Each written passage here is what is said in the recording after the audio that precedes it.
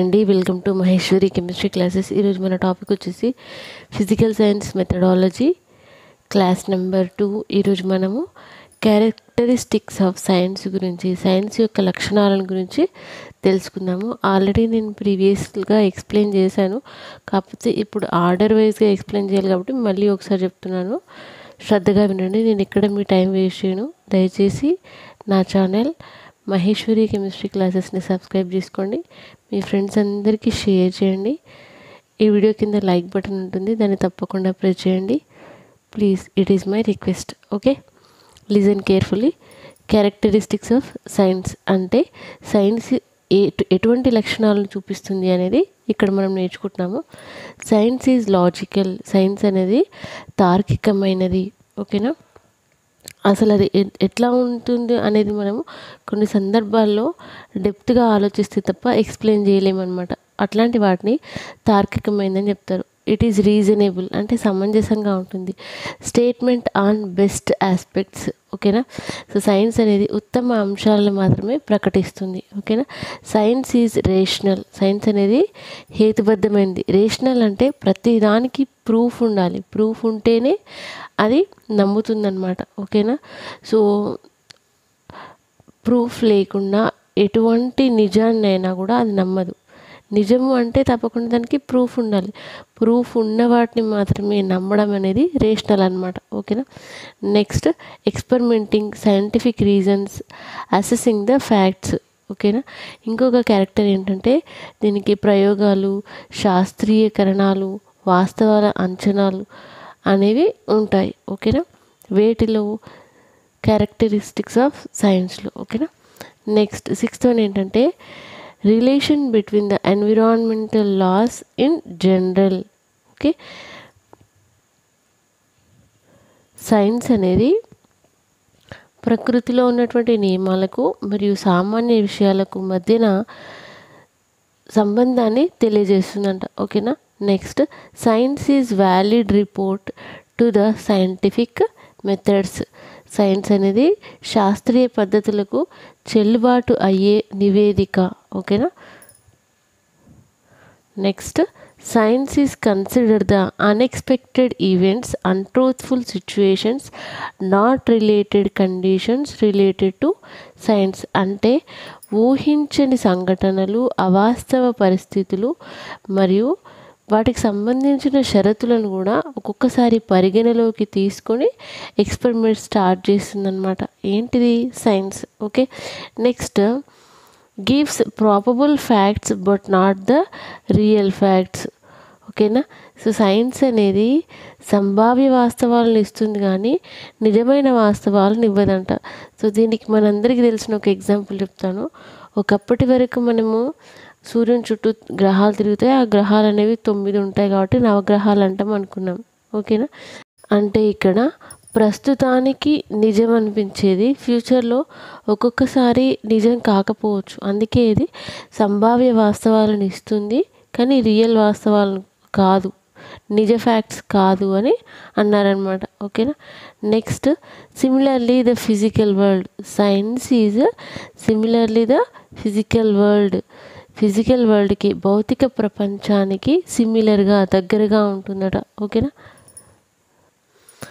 యాక్చువల్గా ఇక్కడ ప్రతి sentence starts with science is అని. ఓకేనా? నేను ప్రతి దగ్గర రాయకుండా ఒకే దగ్గర రాసి నేను పాయింట్ వైజ్గా చెప్తున్నాను. Okay? Eleventh one. Science is depends on the observational situations science అనేది గమనించదగిన పరిస్థితులపైన ఆధారపడుతుంది. Next science is provides today's facts but not generalized facts science అనేది నేటి వాస్తవాలను ఇస్తుంది కానీ సాధారణీకరించిన వాస్తవాలను కాదు. ఓకేనా? సో ఇప్పుడున్న వాస్తవం ఏమైందో చెప్తుంది కానీ ఆ సాధారణంగా ఇలా జరుగుతుందట అనేది మాత్రం చెప్పదనమాట ఓకేనా? Next science is based on critical discrimination science అనేది క్లిష్టమైన వివక్ష పైన ఆధారపడుతుంట ఫర్ ఎగ్జాంపుల్ కోపర్నిక సూర్యకేంద్రిక సిద్ధాంతం అనేది అంత ఈజీగా ఎవ్వరూ ఆమోదించలేదు. వాళ్ళందరూ భూమినే కేంద్రంగా ఊహించుకున్నారు. ఓకేనా? సో ఈ కోపర్నిక సూర్యకేంద్రిక సిద్ధాంతం ఆమోదింపబడాలంటే చాలా కాలం పట్టింది. అంటే సైన్స్ అనేది క్రిటికల్ డిస్క్రిమినేషన్ ఎదుర్కొంటుందన్నమాట. ఓకేనా? క్లిష్టమైన వివక్షత పైన ఆధారపడుతుంది. Next fourteenth one science empirical in nature and the knowledge is obtain through observation and experimentation అనుభవిక స్వభావము జ్ఞానం అనేవి పరిశీలన మరియు పరిశోధన ద్వారా కలుగుతాయంట. ఫర్ ఎగ్జాంపుల్ మనం ఇప్పుడు ఏదైనా ఎక్స్పెరిమెంట్ చేస్తున్నాం టైట్రేషన్కి సంబంధించి కానీ ఏదైనా ప్రోడక్ట్ సింథసిస్ కానీ చేస్తున్నాం అనుకోండి అప్పుడు మనము కొంత మనకు థిరిటికల్ నాలెడ్జ్ అనేది ఉంటుంది. దాని ప్రకారము మనం ఆ ఇన్స్ట్రుమెంట్ సెట్ చేసి పరిశీలించి పరిశోధన చేసి కనుక్కుంటాం కదా ప్రోడక్ట్ ఏందనేది ఓకేనా సో ఇదే ఆ సెంటెన్స్ అనమాట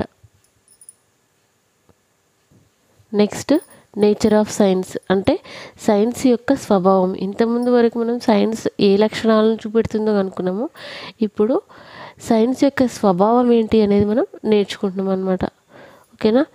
First one science is a process science అనేది ఒక ప్రక్రియ. Science is a product science అనేది ఒక ఉత్పత్తి. సైన్స్ ఈజ్ క్యుములేటివ్ నాలెడ్జ్ ఇది ఒక సంచిత జ్ఞానం. Okay scientific facts are tentative ఓకేనా శాస్త్రీయ వాస్తవాలు అనేవి తాత్కాలికం. ఇంతకుముందే చెప్పిన కదా ఒకప్పుడు గ్రహాలు తొమ్మిది ఉండేవి బట్ ఇప్పుడు అవి ఎనిమిది అయినాయి. అంటే ఒకప్పుడు తొమ్ గ్రహాలు తొమ్మిది అనే విషయం అనేది తాత్కాలికమైంది కదా. ఎందుకంటే ఇప్పుడు మారిపోయింది కాబట్టి ఇప్పుడు తాత్కాలికమైంది అన్నట్టు ఓకేనా? Next fifth one science predicts probability సంభావ్యతను అంచనా వేస్తుంది. Okay? Science is based on observations పరిశీలనలపై ఆధారపడి ఉంటుంది. సైన్స్ అనేది పరిశీలన పైన ఆధారపడి ఉంటుంది. Next seventh science develops scientific attitude science అనేది ఏం డెవలప్ చేసిందంట? శాస్త్రీయ దృక్పథాన్ని కానీ శాస్త్రీయ వైఖరిని కానీ ఇంక్రీజ్ చేస్తుందంట ఓకేనా? Next science inculcate scientific spirit science అనేది శాస్త్రీయ స్ఫూర్తిని ఇంక్రీజ్ చేస్తుంది. ఓకేనా? Ninth one science develops scientific method okay? So approaches investigation a process of constructing knowledge ఇది కూడా సేమ్ యాస్టిస్ సైన్స్ అనేది శాస్త్రీయ పద్ధతిని ఇంక్రీజ్ చేస్తుంది. ఓకేనా next tenth one science search for truth science అనేది నిజమేంటి అనేది శోధిస్తుందన్నమాట. ఓకేనా eleventh one science studies living non living metal and substances science అనేది వేడి గురించి అవుతుంది.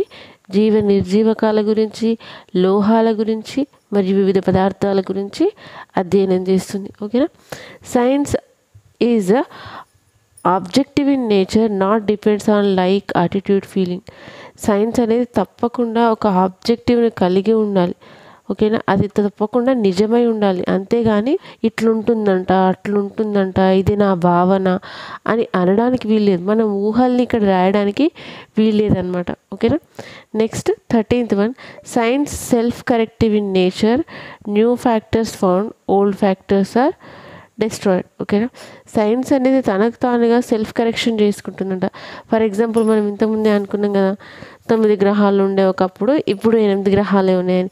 ఇది ఎగ్జాంపుల్ నేను చాలా వాటికి ఎందుకు చెప్తున్నా అంటే ఇది మాకు మనకు చాలా బాగా తెలిసిన ఎగ్జాంపుల్ కాబట్టి నేను ఇక్కడ అప్లై చేస్తున్నా. ఈ విధంగా సైన్స్ అనేది తనకు తానుగా సరి చేసుకుంటుందన్నమాట. ఓకేనా? తన సిద్ధాంతాలను కానీ తన వివరణలు కానీ తనకు తానుగా సరి చేసుకుంటుంది. Next fourteenth one science not only concepts but also methodologies science అనేది జస్ట్ భావనలు మాత్రమే కాదు పద్ధతులను కూడా కలిగి ఉంటుంది. ఓకేనా science is particular way of looking in nature okay science అనేది పర్టిక్యులర్ ప్రత్యేకమైన మార్గం. దేన్ని చూడడానికి? ప్రకృతిని చూడడానికి. ఓకేనా? Science is rapidly expanding body of knowledge ఓకేనా? సైన్స్ అనేది జ్ఞానాన్ని వేగంగా విస్తరింపజేస్తుంది. Okay? Next science inter disciplinary area of learning ఇక్కడ ఇంటర్ డిసిప్లినరీ ఏరియా అంటే కేవలం ఒక అంశం పైన మాత్రమే కాకుండా చాలా ఎక్కువ అంశాలపైన డిపెండ్ అయ్యి నేర్చుకునే ప్రక్రియ అనమాట ఓకేనా? So next science truly international enterprise science అనేది ఒక నిజమైన అంతర్జాతీయ సంస్థ. Okay? Next nineteenth one science promotes scepticism science అనేది ప్రతిసారి సందేహపడుతుంది అనుమానపడుతుంది. ఓకేనా? మనం ఇప్పుడు ఏదైనా కనుక్కున్నాము అని ఎక్స్పర్ట్స్ దగ్గరికి తీసుకెళ్తే వాళ్ళు అంత ఈజీగా సరే నువ్వు ఇది కనుక్కున్నావు ఇది కరెక్టే అని ఆమోదించరు. ఇంకా ఇది ఇట్లా ఎందుకు జరిగింది అట్లా ఎందుకు జరిగింది ఇంకా వేరే ఏమైనా రీజన్ ఉంటుందేమో అని ప్రతిసారి వాళ్ళు అనుమానపడతారు సందేహపడతారు అనమాట ఓకేనా? అది సైన్స్కి ఉన్నటువంటి లక్షణం.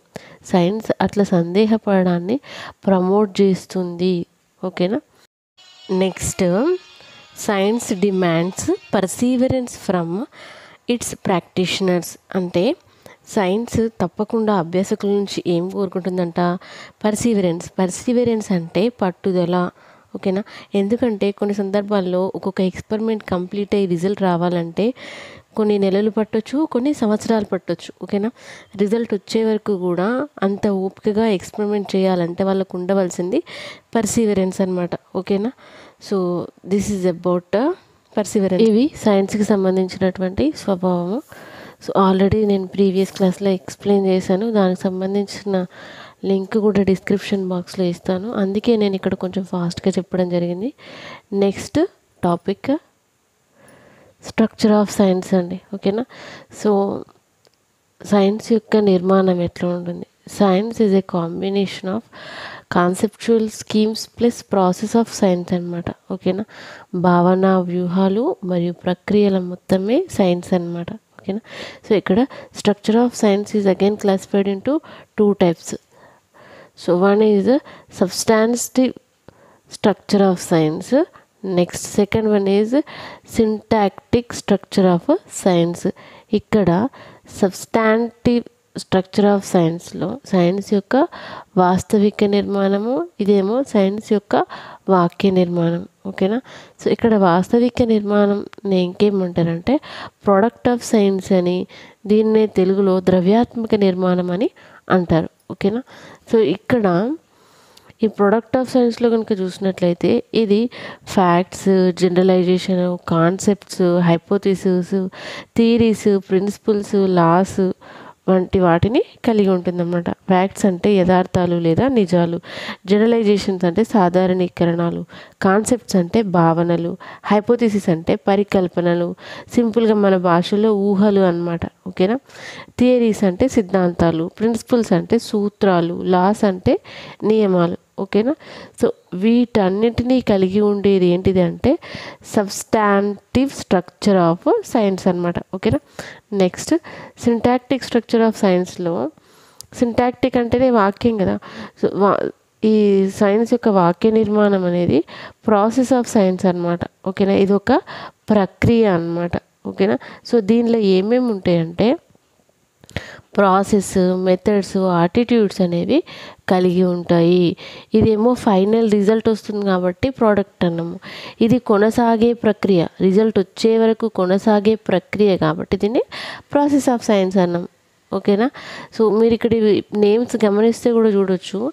ఇదేమో ప్రొసీడింగ్లో ఉండే నేమ్స్ ఇవన్నీ ప్రక్రియలు పద్ధతులు వైఖరులు అనేవి. మనకి ఫైనల్గా వచ్చేసి ఏంటివి థియరీస్ ప్రిన్సిపల్స్ లాస్ ఇవన్నీ. ఇవన్నీ ఏంటివి ఇవి రిజల్ట్కి సంబంధించినవి కాబట్టి ఇక్కడ ప్రోడక్ట్ అన్నాం. మీరు ఇట్లా గుర్తుపెట్టుకోవడానికి ట్రై చేయండి. ఈజీగా గుర్తుంటుంది. ఇప్పుడు మళ్ళీ మనము ఇండివిజువల్గా ఈ ప్రోడక్ట్ ఆఫ్ సైన్స్కి సంబంధించిన క్లాసిఫికేషన్ నేర్చుకున్నాం. ఓకేనా? సో చూడండి. సబ్స్టాంటివ్ స్ట్రక్చర్ ఆఫ్ సైన్స్ దీన్నే బాడీ ఆఫ్ నాలెడ్జ్ అని కూడా అంటారనమాట ఓకేనా? సో ఇది టూ టైప్స్గా డివైడ్ అయింది. ఒకటి empirical knowledge second one theoretical knowledge ఇవి దేని గురించి? ప్రోడక్ట్ ఆఫ్ సైన్స్ గురించి. ప్రోడక్ట్ ఆఫ్ సైన్స్ అంటే ఏంటిది? సబ్స్టాంటివ్ స్ట్రక్చర్ ఆఫ్ సైన్స్ అనమాట ఓకేనా? సో ఎన్ని రకాలుగా క్లాసిఫై అయింది? టూ టైప్స్గా ఓకేనా so one is empirical another one is theoretical empirical అంటే ప్రాయోగిక జ్ఞానము.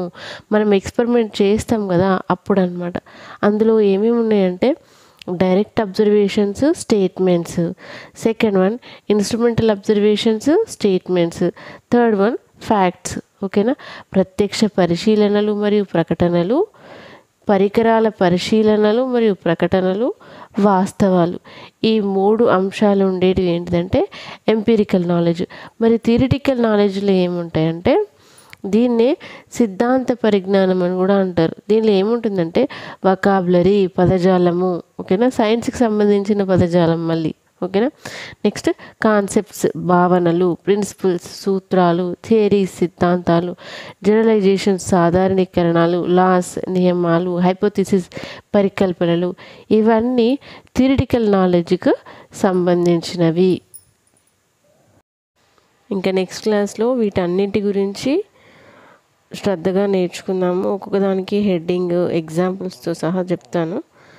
ఇది ఫిజికల్ సైన్స్ మెథడాలజీకి సంబంధించిన సెకండ్ క్లాస్ అనమాట సో నెక్స్ట్ క్లాస్ రేపు అప్లోడ్ చేస్తాను. సో ప్లీజ్ ఫ్రెండ్స్ ఈ వీడియో కనుక మీకు నచ్చినట్లయితే సబ్స్క్రైబ్ చేయండి. నా ఛానల్ మహేశ్వరి కెమిస్ట్రీ క్లాసెస్ని మీ ఫ్రెండ్స్ అందరు కూడా షేర్ చేయండి. సో వ్యూస్ ఎక్కువ ఉంటే నాకు ఆటోమేటిక్గా చేయాలని ఇంట్రెస్ట్ అయితే వస్తుంది. సో దయచేసి నా ఛానల్ మహేశ్వరి కెమిస్ట్రీ క్లాసెస్ని సబ్స్క్రైబ్ చేయండి. మీ ఫ్రెండ్స్ అందరికీ షేర్ చేయండి. నెక్స్ట్ క్లాస్లో రిమైనింగ్ టాపిక్తో కలుసుకుందాం. Thank you very much.